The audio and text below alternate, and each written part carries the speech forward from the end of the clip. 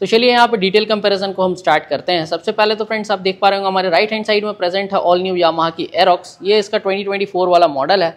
और left hand side में present है एम टी फिफ्टीन अगर हम दोनों के ऑन रोड प्राइसिंग की बात करते हैं तो एरोक्स का जो ऑन रोड प्राइस है, वो जा रहा है one lakh eighty thousand rupees के अप्रॉक्स में।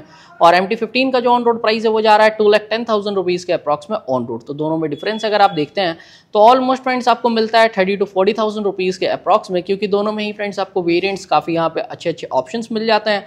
तो थोड़ा मोड़ा यहाँ पे प्राइसिंग में जो है, वो डिफरेंस रहता है सभी के मॉडल्स में। तो अब हम बात करते हैं दोनों के यहाँ पे फीचर्स के बारे में।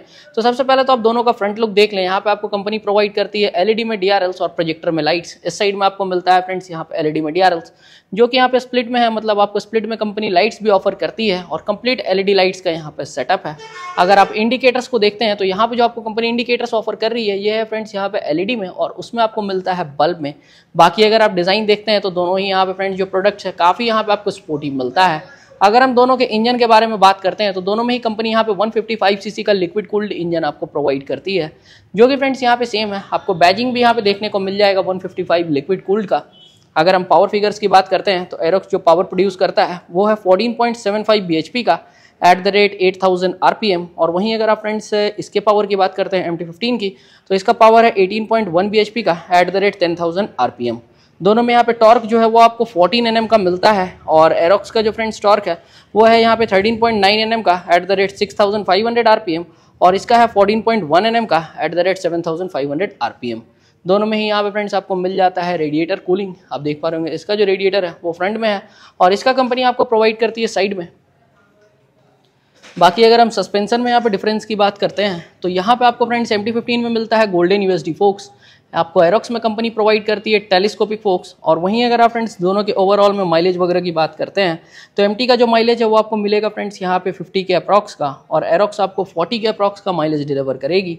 तो माइलेज में भी यहाँ पे थोड़ा सा आपको डिफरेंस मिलता है, और अगर हम टॉप स्पीड की बात करते हैं तो एम का जो टॉप स्पीड है, वो वन के अप्रॉक्स में जाता है, और इसका जो टॉप स्पीड है, वो वन के अप्रॉक्स में आपको मिलता है।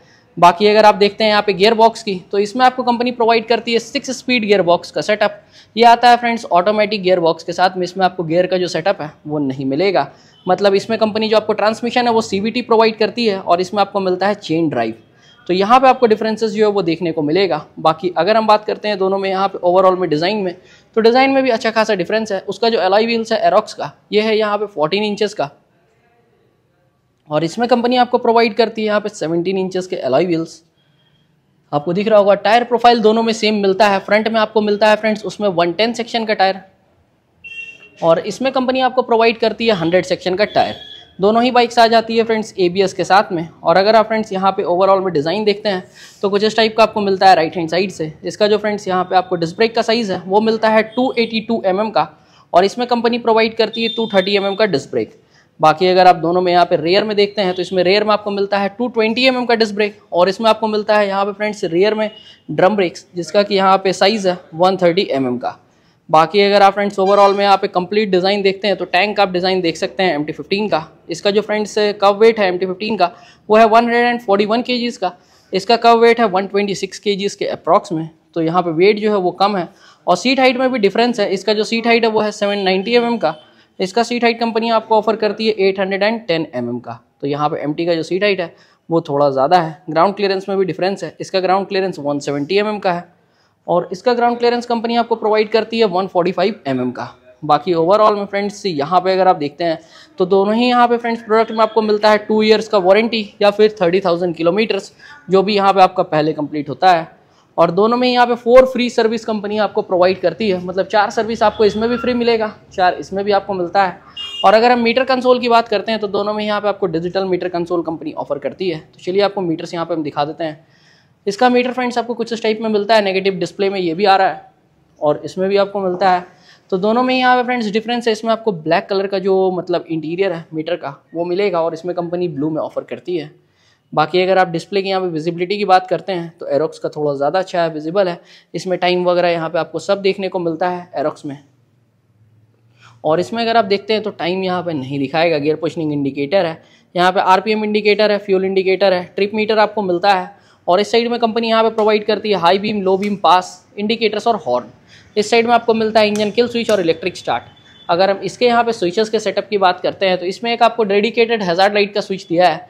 जिससे कि आप चारों इंडिकेटर्स को एक साथ यहाँ पे ऑन ऑफ़ कर सकते हैं। यहाँ पे आपको ऑटो स्टार्ट का जो फीचर है, वो मिलता है। और ये है फ्रेंड्स यहाँ पे इसका इलेक्ट्रिक स्टार्ट अगर आप इसके की को भी देखते हैं तो वो भी यहाँ पे काफ़ी ज़्यादा प्रीमियम है। या वहाँ की बैजिंग के साथ आता है। एक लॉन्ग लेंथ वाला यहाँ पे कंपनी आपको की ऑफ़र करती है। और ये आता है यहाँ पे पुश लॉक के साथ में। बाकी यहाँ से आप जो इसका सीट वगैरह है, वो सब यहीं से ओपन कर सकते हैं। बस आपको इसे ओपन पे लेके जाना है और आप यहाँ पे जैसे इसे प्रेस करेंगे, आपका फ्यूल लिड यहाँ पे ओपन हो जाएगा ऑटोमेटिकली और अगर आप इसे प्रेस करेंगे तो आपका जो सीट है, वो यहाँ पर आप ओपन कर सकते हैं। इसका जो सीट का स्पेस है, वो भी काफ़ी अच्छा खासा है। दो हेलमेट्स यहाँ पर आपका ईजिली आ जाएगा। तो स्पेस के मामले में यहाँ पर आपको काफ़ी मतलब स्पेस कंपनी प्रोवाइड कर रही है अपनी एरोक्स में। तो ये हो गया फ्रेंड्स इसके अंडर सीट स्टोरेज की बात। अगर आप सीट को देखते हैं तो यहाँ पे एरोक्स का जो सीट है, वो भी काफ़ी अच्छा है। मतलब काफ़ी अच्छी कुशनिंग के साथ आ रहा है। अगर आप लॉन्ग राइड्स वगैरह भी करते हैं तो आपको कंफर्ट यहाँ पे बेस्ट देखने को मिलेगा। वहीं अगर आप एमटी में देखते हैं तो यहाँ पे आपको कंफर्ट उतना अच्छा नहीं मिलता एरोक्स के जैसा। इसका जो सीट का कुशनिंग है, वो भी कम है और पिलियन के लिए भी काफ़ी कम स्पेस है। तो कंफर्ट के मामले में फ्रेंड्स एरोक्स नो डाउट काफ़ी अच्छा है। यहाँ पे आपको एरोक्स की बैजिंग मिलेगी। यहाँ वहाँ की बैजिंग यहाँ पे आपको मिलती है और ये आता है ब्लूकोर टेक्नोलॉजी के साथ में। बाकी अगर आप दोनों के डिज़ाइन को देखते हैं यहाँ से तो कुछ इस टाइप का आपको डिज़ाइन देखने को मिलेगा।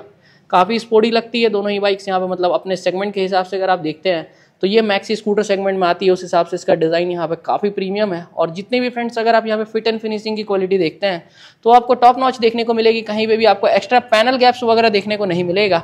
और फ्रंट से भी यहाँ पर दोनों बाइक्स काफ़ी अच्छी लगती है। यहाँ पर अगर आप इसके लीवर वगैरह की भी क्वालिटी को देखते हैं तो वो सब यहाँ पे फ्रेंड्स आपको मिलता है बेस्ट क्वालिटी में। और यहाँ पे एक छोटा सा वाइज़र कंपनी ने दे रखा है। जितने भी ब्रेक्स है, वो आपको मिलते हैं निशन के। कैलिपर्स यहाँ पे सारे निशन के हैं।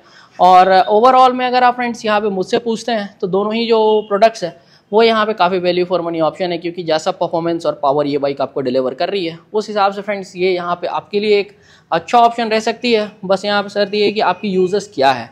अगर आपको फ्रेंड्स लगता है कि मतलब जैसे मुझे थोड़ा लॉन्ग राइड्स वगैरह करना है और एक यहाँ पे कंफर्टेबल ऑप्शन चाहिए तो फिर आप एरोक्स को चेकआउट कर सकते हैं, क्योंकि इसमें पावर जो है वो आपको काफ़ी अच्छा मिल रहा है। बेस्ट इन सेगमेंट पावर है। ट्रैक्शन कंट्रोल वगैरह आ जाता है दोनों ही बाइक्स में। मतलब आप इसे बाइक या स्कूटर जो भी आप बोलना चाहें, मेरे हिसाब से तो ये बाइक से कम नहीं है, क्योंकि इसका जो परफॉर्मेंस है, वो आपको सेम मिलता है यहाँ पे आर फाइव के जैसा और एम टी फिफ्टीन के जैसा। बाकी ओवरऑल में फ्रेंड्स ये था कि यहाँ पे शॉर्ट कंपेरिजन तो आप हमें कमेंट करके ज़रूर से बताएँ कि दोनों में से आपको बेस्ट कौन सा लगा है। कलर ऑप्शन आपको दोनों में मिल जाएगा। ये वीडियो हम रिकॉर्ड कर रहे हैं यामाहा शिव शक्ति मोटर्स में। तो अगर आप ग्रिडी एरिया से बिलोंग करते हैं तो शोरूम विज़िट कर लें। आपको यहाँ पे फ्रेंड्स स्टॉक्स जो है वो देखने को मिलेगा। अब फ्रेंड्स यहाँ पर हम वीडियो को जो है वो एंड करते हैं। रहा बात यहाँ पे लुक्स का। तो एक बार हम यहाँ पे दोनों में आपको बैठ करके लुक्स दिखा देते हैं, ताकि आपको लुक्स का जो आइडिया है, वो लग जाए और सीट हाइट का भी आपको आइडिया लग जाए। तो सबसे पहले फ्रेंड्स हम बैठते हैं एम टी पे। आपको एम टी का जो लुक्स है, वो दिखाते हैं। बैठने के बाद कैसा आता है। अपने सेगमेंट में फ्रेंड्स ये वन ऑफ़ द बेस्ट यहाँ पे लुकिंग बाइक है। और मेरी जो हाइट है, वो है फाइव फीट फाइव इंच के अप्रॉक्स में। तो आप देख पा रहे होंगे यहाँ पे फ्रेंड्स मेरा जो पैर है, वो किस तरह से आ रहा है। तो ऑलमोस्ट टिप तो हो रहा है बट अगर आपको फ्रेंड्स एक्सपीरियंस है बाइक चलाने का, अगर आपको चाहिए कि नहीं, आपने मतलब जो है वो बाइक राइड कर रखा है, अगर थोड़ी सी आपकी हाइट कम भी है तो आप ईजिली इसे मैनेज कर पाएँगे। बाकी लुक्स वाइज अगर आप देखते हैं तो ये इसका व्हाइट कलर वाला वेरिएंट है, जिसका कि कंपनी ने नाम रखा है आइस फ्लो वर्मिलियन तो ये वन ऑफ़ द मोस्ट यहाँ पे टॉप सेलिंग कलर ऑप्शन है एम टी का। और लुक्स वाइज फ्रेंड्स मुझे भी ये बेस्ट लगता है। मतलब मुझे MT के दो कलर ऑप्शन पसंद है, एक वाइट एक ब्लैक तो ब्लैक का स्टॉक तो जल्दी मिलता ही नहीं है मतलब बाइक आता है और तुरंत सेल आउट हो जाता है बट वाइट एक ऐसा कलर है जो मतलब ऑलमोस्ट मिल ही जाता है। तो उस हिसाब से आप देख सकते हैं। अब हम बैठते हैं फ्रेंड्स एक बार यहाँ पे एरोक्स पे। और एरोक्स का जो सीट हाइट है, वो इससे थोड़ा सा कम है। मतलब अगर आप थोड़े से शॉर्ट हाइटेड भी पर्सन है तो आपको एरोक्स में एक यहाँ पे थोड़ा सा बेनिफिट रहेगा। बाकी इसमें भी बीच में कंपनी ने हम्प दे रखा है। तो अब हम बैठ रहे हैं यहाँ पे एरोक्स के ऊपर। और ये आप देख सकते हैं एरोक्स का यहाँ पे कुछ लुक्स बैठने के बाद। तो यहाँ पे काफ़ी अच्छा फ्रेंड्स इसका जो डिज़ाइन है और लुक है, वो आपको मिलता है। साइड से फ्रेंड्स यहाँ पे ये जो स्कूटर है, काफ़ी स्पोर्टी लगती है।